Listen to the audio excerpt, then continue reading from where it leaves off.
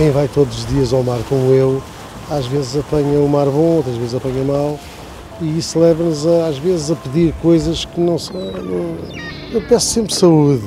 Eu agarrei-me a São Gabriel, pedi tanto, tanto com tanta fé, graças a Deus, ele me segurou a mim, eu segurei ele para ele não ir ao mar. A primeira recordação que eu tenho foi quando eu vi a procissão com a maioria de pessoas da minha família. O meu neto vai à pescador, com o bonézinho na cabeça, e eu, enquanto puder, para mim, só desisto no dia que morrer. Cada terra tem o seu santo, o seu padroeiro, que as casas é Nossa Senhora dos Navegantes. Até tenho uma em casa e outra no barco. Nossa Senhora, Nossa Senhora dos Navegantes, qualquer santo, sempre muita fé. Os homens de fé pedem qualquer coisa e são sempre satisfeitos os seus pedidos.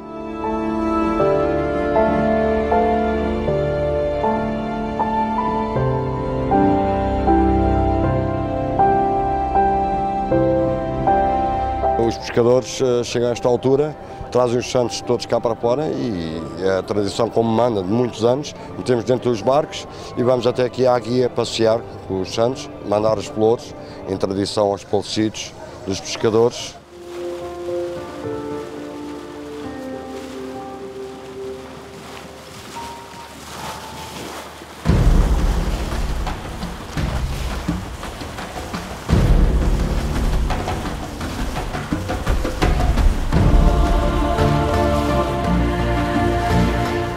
O homem do mar enfrenta muitas vezes a crua realidade da brutalidade da natureza. Está exposto a isso. Isso faz com que ele sinta a sua pequenez, a sua incapacidade até de ter o seu destino na mão. E então há que evocar ou pedir auxílio a alguém superior. E esse superior é Deus. E é a sua corte.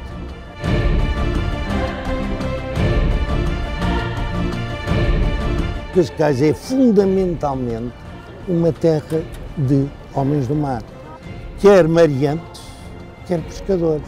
E isto aqui há uma distinção de classe. Mas o que é certo é que o mar que os une faz que, perante a religião, eles também tenham projetos comuns. Mas eles não querem ser e não podem ser ingratos porque se não puder já vir o castigo. Eles vivem a piedade intensamente, vivem a fé.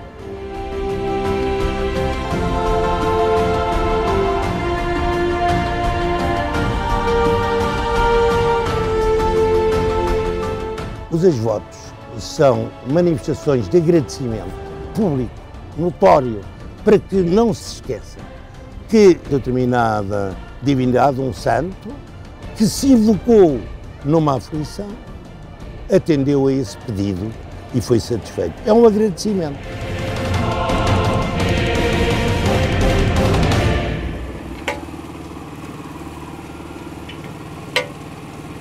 Se calhar metias um bocadinho mais devagarinho.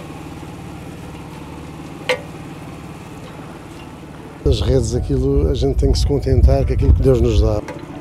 Sempre fui um, um homem de fé. Aquele esforço que eu faço a fazer a, apreciação, isso tudo é uma forma de eu pagar a, realização de eu ter, ter saúde e, e chegar vivo, precisão após precisão. É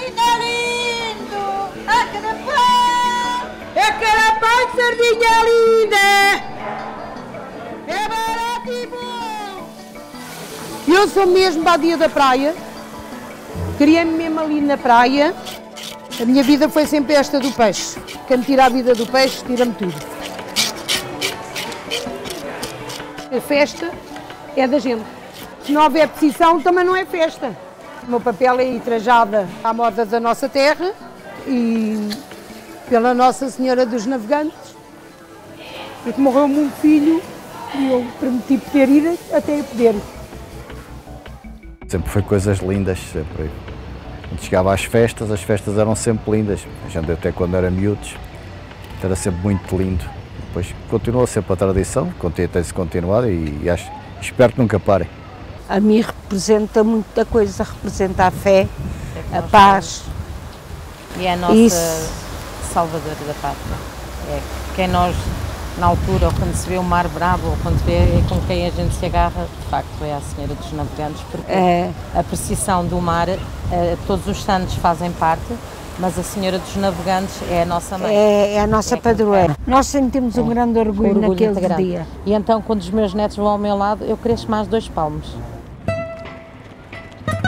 Quando decide a data das festas do mar, vai-se ver a tabela das marés, qual é a praia-mar e a baixa-mar, informa-se o padre e a Câmara no dia que é a precisão. Eu vou à igreja e falo lá com o António e vamos definir quais as imagens que vão na precisão.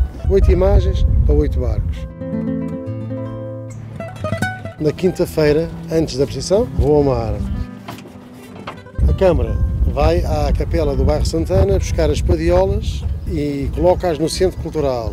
Eu faço a transferência das imagens da igreja matriz para o centro cultural.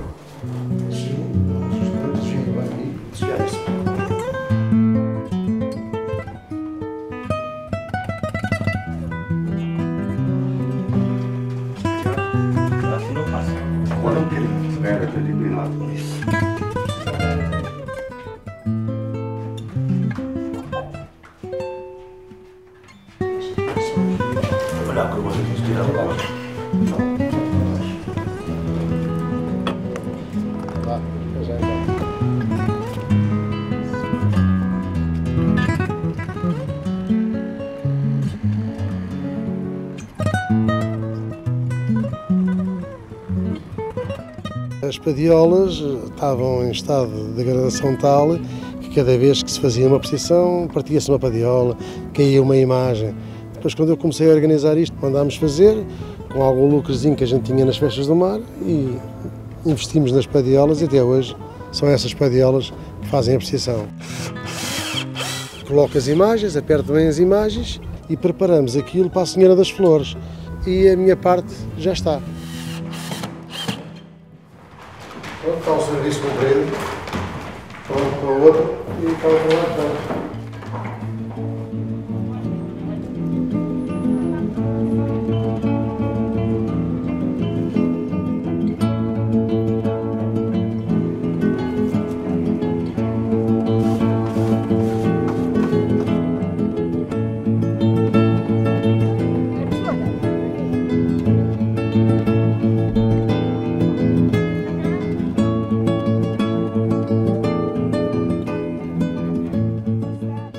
flores é que são utilizadas para enfeitar os andores este ano? As flores, pronto, que há da época. Pronto, girassóis, antúrios, gladilos, margaridas, rosas. Ainda não estão enfeitados com rosas, mas vão estar também. Qual é o tipo de flor que leva o andor da Nossa Senhora dos Navegantes? Margaridas e antúrios. E este ano arranjamos ali uma verdura especial que parece corais. Coral tem a ver com o mar, como ela tem a ver com o mar, arranjamos estas verduras Antigamente eram as varinas que enfeitavam os andores, entretanto a chefe lá das varinas, que é a Matilde, teve um problema na locomoção, como já não tinha aquela força para enfeitar os oito andores, deu-se os andores a enfeitar a uma senhora das flores, que é a Dona Lourdes. Ela vinha de vender da rua e eu vinha da praça mais a vinha dela. Oh, chegámos a estar aqui até à meia-noite.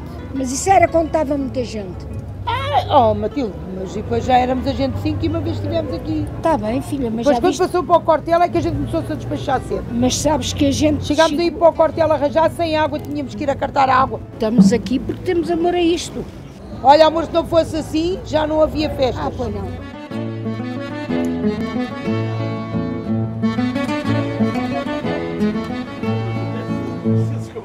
podem Mas não. E. Ah, mete, mete o santo de cara para fora. Olha, se mete o santo de costas para fora. Mete-se de frente. Um, dois, três.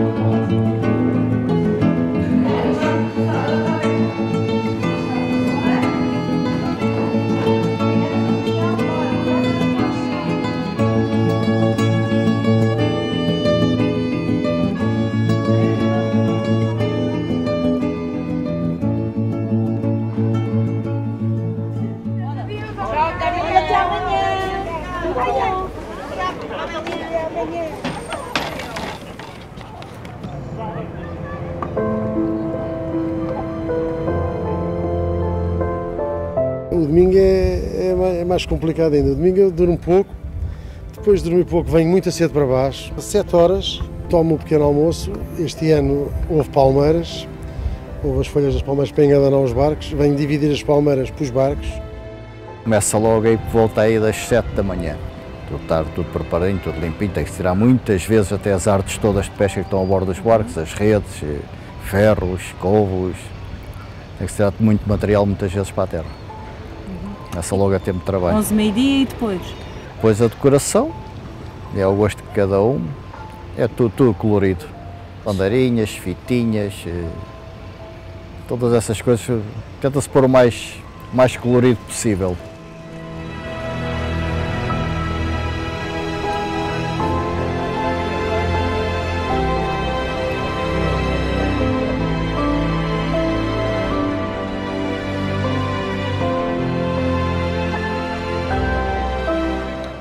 Câmara, para além de pagar as flores, também oferece as camisas e oferece as chinelas.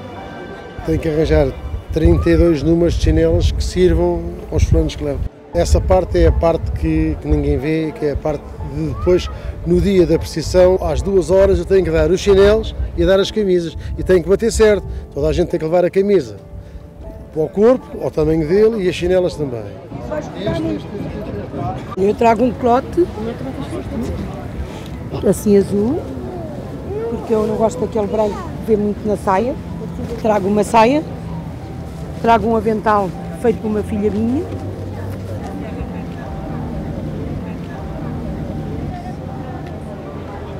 Trago uma blusa, que foi feita para, minha, para mim e para minha filha também. E um fio, um fio de ouro, uns brincos e uma pulseira. Chega que está o ouro. As chinelas tradicionais também. O meu traje é o lenço, a blusa, saia.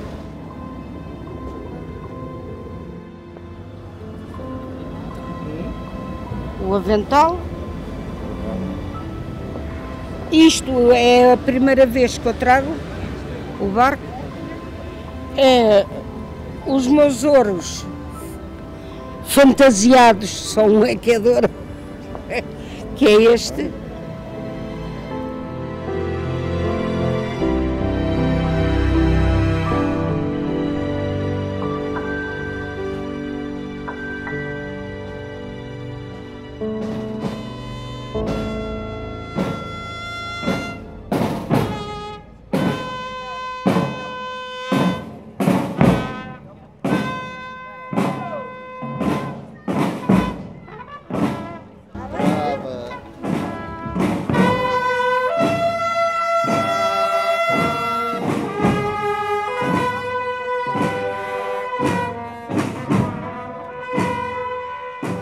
fé profunda, silenciosa, que às vezes não se diz e que eu fui vendo na forma como, mesmo festiva, mesmo alegre, mesmo na conversa, mas, mas há qualquer coisa que eu não sei dizer e que eu não controlo, não, não domino, não está nas minhas mãos, mas que, que me preenche, que me preenche. E por isso eu sou mais, não sou tanto eu a guiar a procissão, por assim dizer, eu sou se calhar o último da procissão, aquele que vai que vai no fim a, a ver e a receber tudo tudo que há de bom e belo na, na.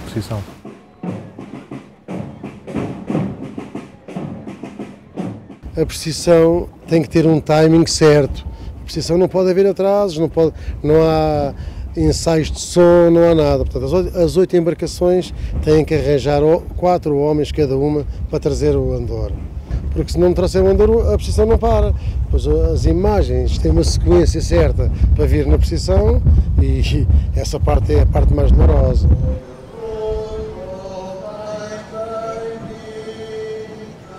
O que eu digo é que toda a gente tem medo do mar, mas quando chega aquele dia, eu acho que ninguém tem, toda a gente quer saltar para os barcos de qualquer maneira. É que saltam de qualquer maneira, não, não querem saber, mas tenham 70 anos, que tenham 20, ou tenham 80. Chegam aqui, querem se atirar para dentro dos barcos, passam por cima de toda a gente. Mas acha que tem a ver com fé? Creio que sim. Creio que aquelas pessoas naquele dia, como vai os santos todos, que se sentem protegidas.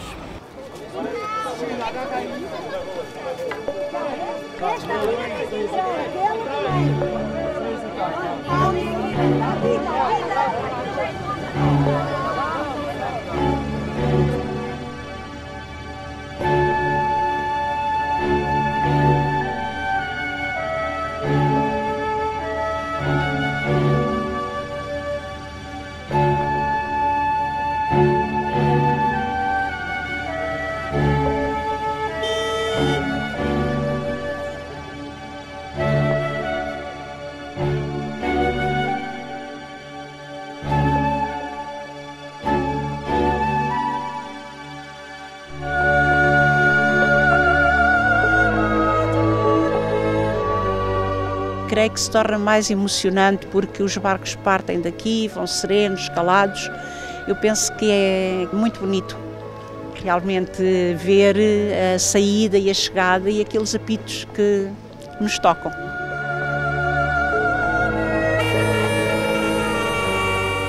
Espero que os pescadores tenham essa firmeza, continuem a ser firmes a não deixar que ela acabe, que é o nosso Cascais.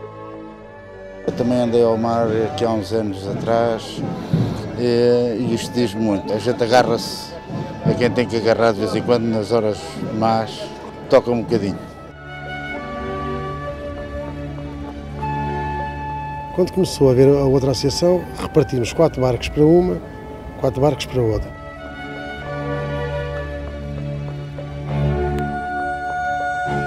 Não havendo sorteio, a Nossa Senhora dos Navegantes um ano leva uma associação, o outro ano leva a outra. Cada barco que vai à precisão também recebe uma verbazinha que também é patrocinada pela Câmara.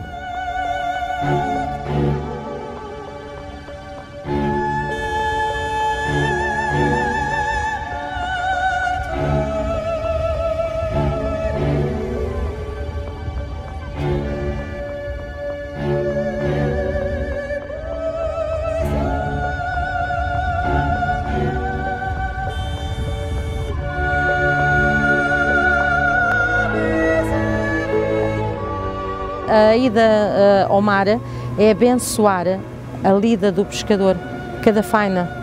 O, a Santa nos protege, nós estamos num aflito, nós temos uh, por para mar proteger os para pescadores, proteger os pescadores, a bênção ao mar, tudo àqueles isso. que morreram. Durante a precisão, todos nós pedimos para que não haja tragédias, que é o principal. A pesca, logo se, logo se vê dias melhores, dias piores, di- dias iguais.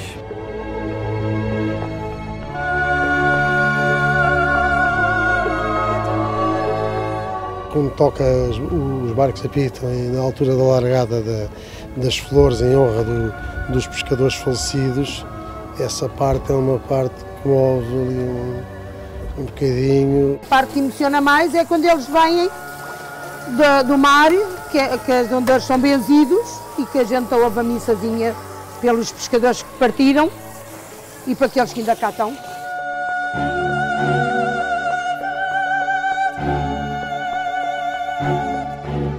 No palco, quando os andores estão formados e, e o, o padre está a dar a bênção do mar e tal, também, também comove e toca um bocadinho na gente.